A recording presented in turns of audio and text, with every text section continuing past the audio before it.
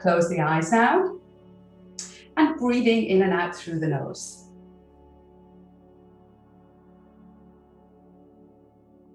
And just beginning to draw the breath a little bit deeper down into the lower abdomen as you inhale. And as you do that, feeling the belly expand, like blowing up an imaginary balloon. And then as you exhale, feeling that imaginary balloon shrinking.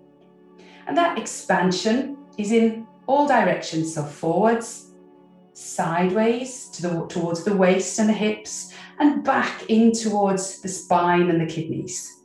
It's also down towards the pelvic area and up towards the rib cage. So really see that as a balloon. When you blow up a balloon, it doesn't just expand in one direction. It usually expands fairly evenly in all directions. So see that in your mind's eye as you're breathing right now.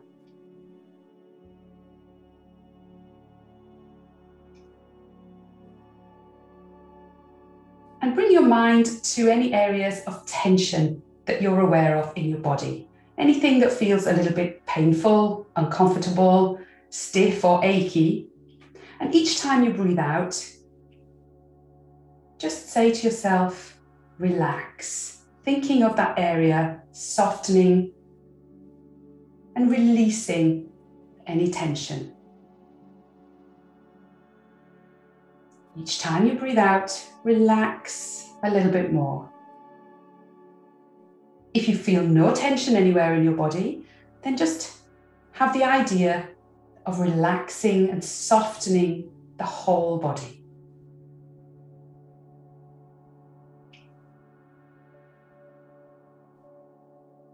This practice of abdominal breathing is something that we do at the beginning of each Qigong session in order to bring ourselves into what's called the Qigong state. So, that is the state where you feel calm, relaxed, and ready to move on to the next exercises in your practice.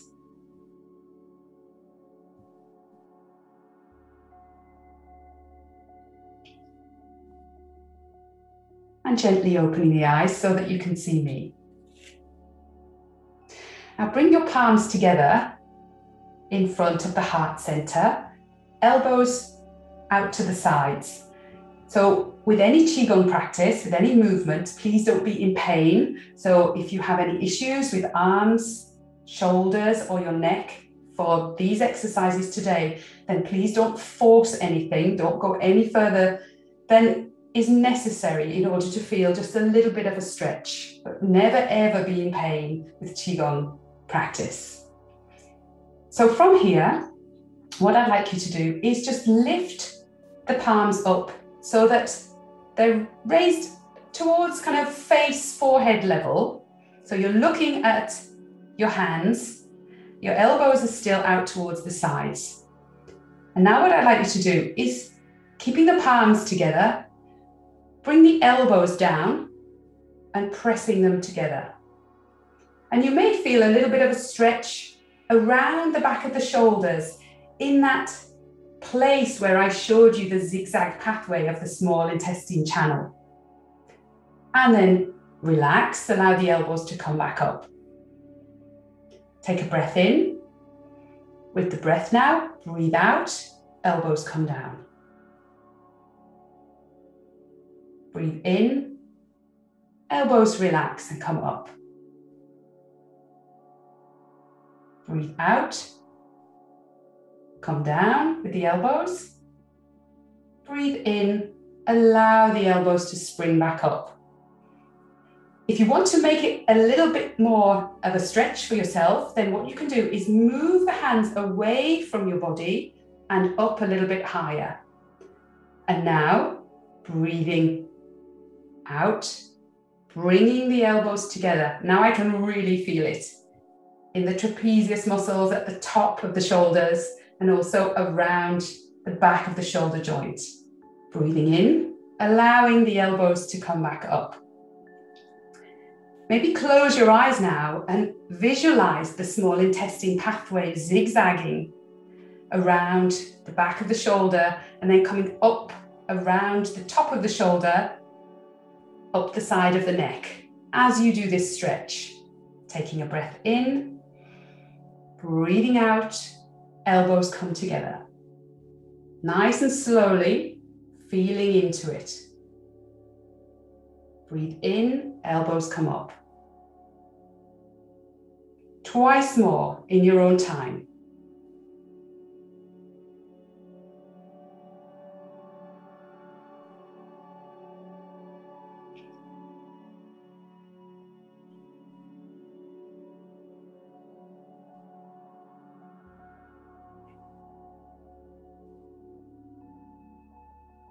And then just allow the hands to come back down by your sides. Really feeling into the shoulders now, maybe giving them a little bit of movement, doing a few shoulder rolls, whatever you need to do just to ease out that stretch.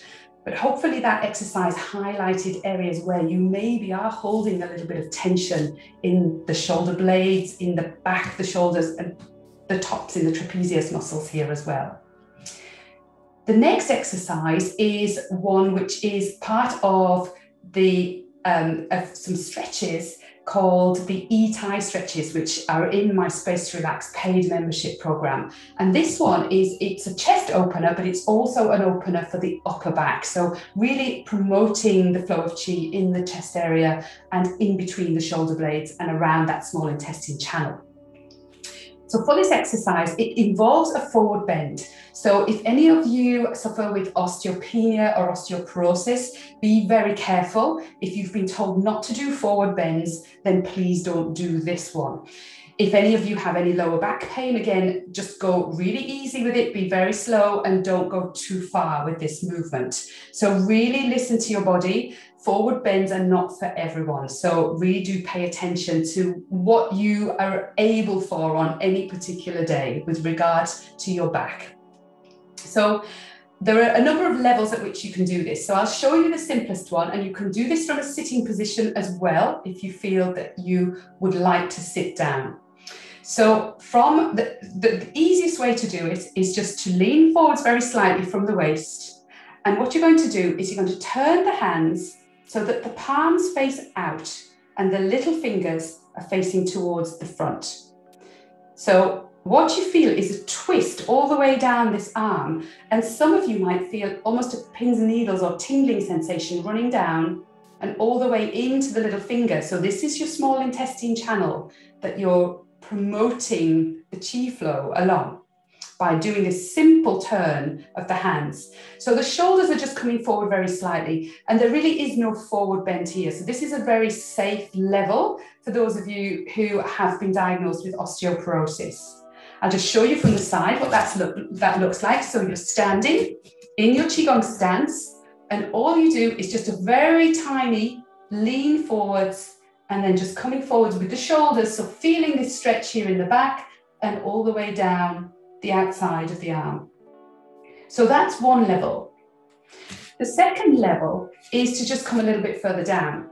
So for anyone with high blood pressure, you never want to let your head drop below the level of your waist. So you can come forward using the hips as a hinge, coming forward and dropping down, bending the knees. You don't need to have the knees locked, but keep your head up, looking straight ahead.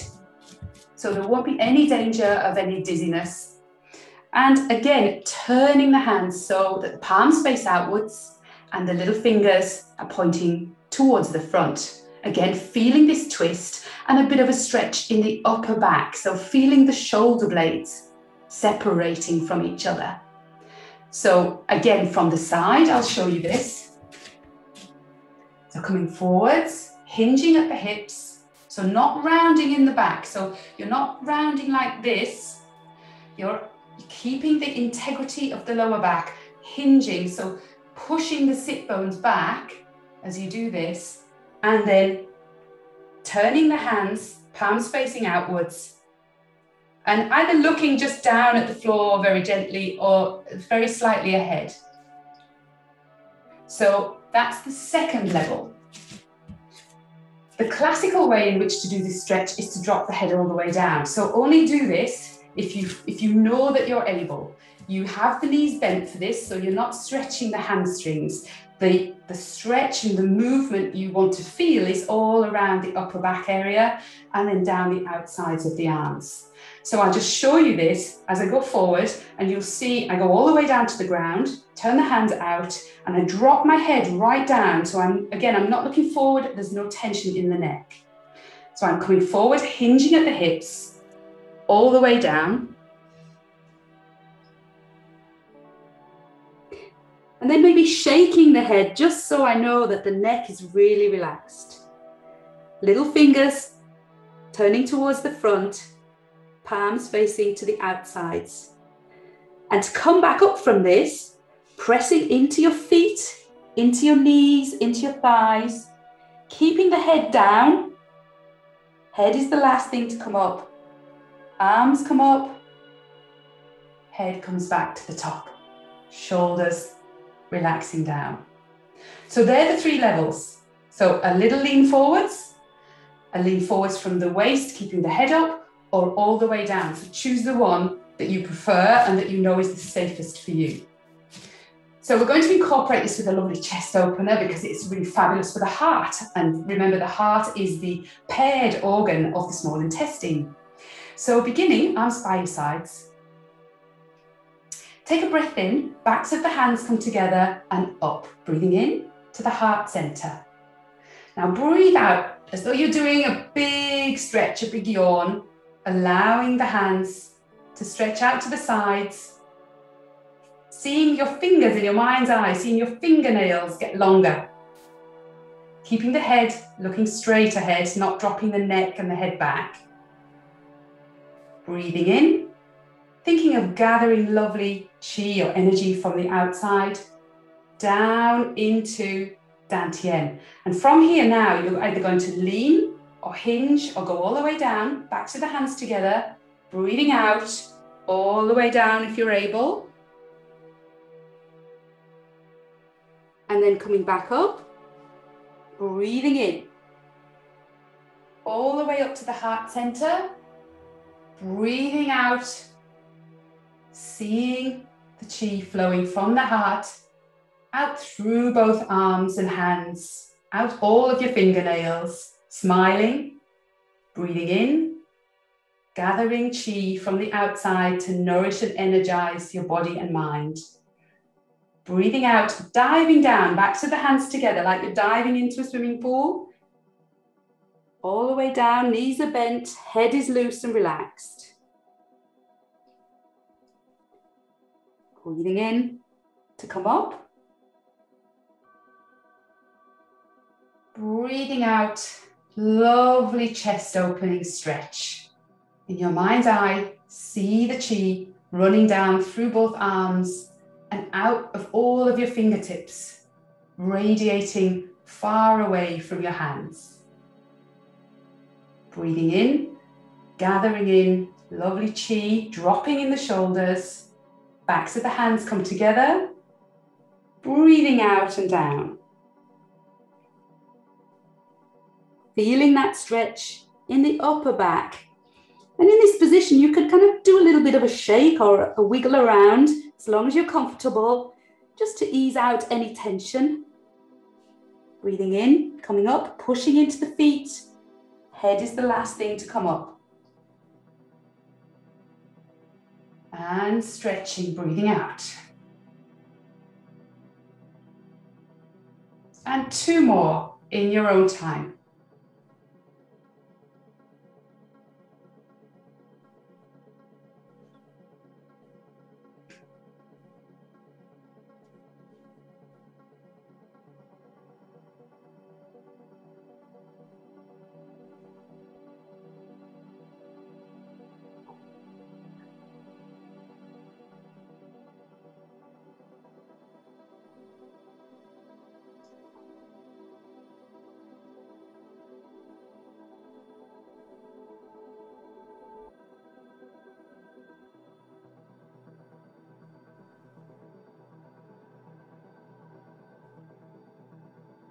And then breathing in to finish, gathering chi in. And allowing the palms to face towards the floor as you press down, dropping the shoulders and the elbows and the hands, and then coming to rest with one palm over the lower belly, the other palm directly on top of that. Closing the eyes and smiling, feeling into your body, observing how it feels, especially the arms, the upper back, the neck and shoulders. And also assessing how you are in your mind. Were your thoughts really busy during that practice? Were you thinking of what to have for dinner this evening or what to put on the shopping list? Or were you really in the moment and focusing on the breath, the mind, and the movement, which are the three elements of your Qigong practice?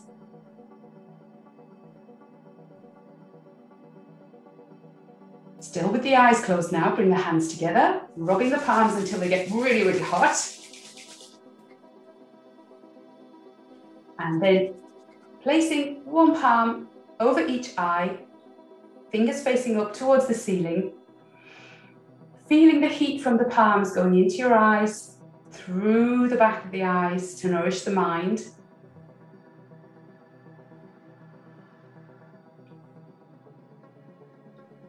And as that heat dissipates, give your face a little massage, a little face wash in order to bring yourself back into the room, gently opening the eyes as you do so.